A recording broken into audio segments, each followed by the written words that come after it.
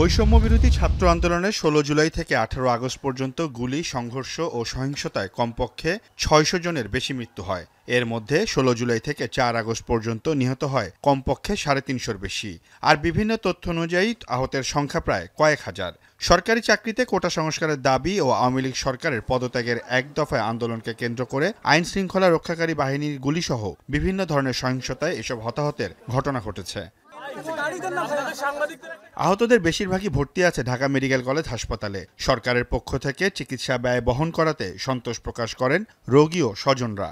সব ওই জায়গাতে দিচ্ছে। ঢাকা মেডিকেলতে সব হচ্ছে। বাইরে থেকে কোনো খরচ লাগে না। খরচপাতি মাঝে মাঝে কেউ কেউ আসছে কিছু দিচ্ছে। এই এইভাবে চলছে। পাঁচ তারিখের পরে থেকে আমার আর এখন পর্যন্ত কোনো টাকা যায়নি। যখন বাড়িতে ছিলাম এন থেকে তখন এনে আনছে এনতে সব কিছু ওষুধ বুঝুদ আছে সব দিতে আছে সোমবার সকালে আন্দোলনে আহতদের দেখতে ঢাকা মেডিকেল কলেজ হাসপাতালে যায় সমাজ কল্যাণ মন্ত্রণালয়ের উপদেষ্টা শারমিন এস মুর্শিদ। এ সময় তিনি আহতদের পরিবার ও হাসপাতালের কর্তৃপক্ষের থেকে খোঁজখবর নেন। পরিদর্শন শেষে গণমাধ্যমের সাথে কথা বলেন সমাজ কল্যাণ মন্ত্রণালয়ের উপদেষ্টা। জানান, বাংলাদেশের সকল হাসপাতালে রেজিস্টার পেশেন্টদের তালিকা অনুযায়ী সবার পুনর্বাসন নিশ্চিত করবে তার মন্ত্রণালয়। আজকের থেকে শুরু হয়ে গেল তাদের পুনর্বাসনের কর্মকাণ্ড। প্রত্যেকটা হাসপাতাল থেকে রেজিস্টার্ড পেশেন্ট যারা আছেন, তাদের লিস্ট আমরা নেব নেওয়া শুরু করছি, আমরা ডেটাবেস তৈরি করব, সেই ডেটাবেস ধরে নাম, স্থান, যোগাযোগ ঠিকানা, আমরা একটা ডেমোগ্রাফিক ম্যাপ করব। সেই ম্যাপের ভিতরে আমাদের প্রায়োরিটি সেট করব, যাদের ইমিডিয়েটলি এবং সেই প্রায়োরিটির ভিত্তিতে আমরা এক দুই তিন চার করে আমাদের অ্যাকশন প্ল্যান করব। সরকারি হাসপাতালগুলোর উপরে সবাইকে ভরসা রাখারও আহ্বান জানান তিনি। বলেন চিকিৎসা ব্যবস্থায় কিছুটা ঘাটতি আছে তবে সব হাসপাতালের সেবার মান একই রকম করার পরিকল্পনা তার মন্ত্রণালয়ের। আমাদের ব্যবস্থাপনার মধ্যে একটু আস্থা রাখতে হবে। আমি যেটুকু দেখেছি সেইটুকুতে আমি কিন্তু সত্যি খুশি হয়েছি।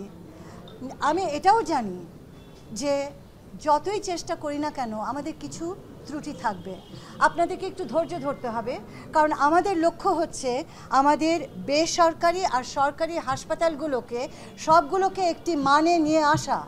এদিকে চিকিৎসকরা জানান বেশিরভাগ রোগীর পেটের খাদ্যনালী সহ পেটে গুরুতর আহত হয়েছেন। নির্দিষ্ট সময় শেষে দ্বিতীয়বারের মতো অনেক রোগীকে অপারেশন করতে হচ্ছে।